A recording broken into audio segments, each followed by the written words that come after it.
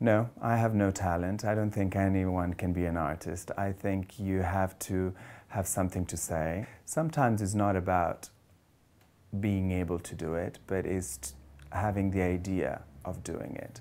And um, if you have the idea, then you can do it. And then you're an artist, and then you have something interesting to say. Uh, but just looking at something and think, how is it made, and not why is it made, is definitely the wrong approach.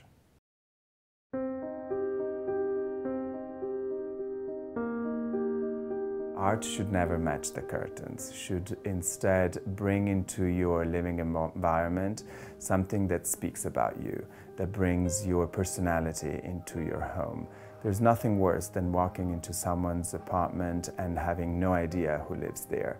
Contemporary art uh, doesn't necessarily belong in a contemporary environment. Contemporary art is the art that happens uh, around us on a daily basis. You don't have to have a specific knowledge uh, to be able to appreciate it and to be able to live it.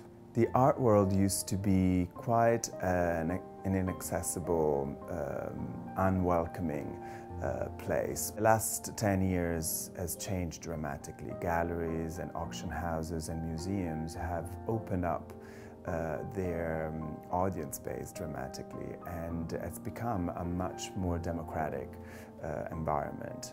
The internet obviously helped a lot. People uh, have been able to build up their own knowledge of the art world, of the artists they like, the exhibitions they, uh, they're interested in and the trends they like to follow. Uh, and um, projects like this tend to cater to this kind of uh, uh, new breed of customers. In this collection I combined London-based artists like Richard Caldicott and Firoza Dorsin who studied in London and made their entire career here and their studio is in London with younger and upcoming artists from Latin America. Latin America obviously is one of the emerging uh, markets in so many fields and so it is also true when it comes to contemporary art. The colors and the um, expressions that come from that continent uh, into London project a very very interesting uh, new concept of contemporary art. I wanted to create something that only through Made you can get. I think art should always bring a sense of joy and but also a sense of achievement. You're not only becoming part of that artist's life, but that artist through their art becomes part of yours. And even if you're never going to meet the artist, but you're going to have a piece of their of their life with you.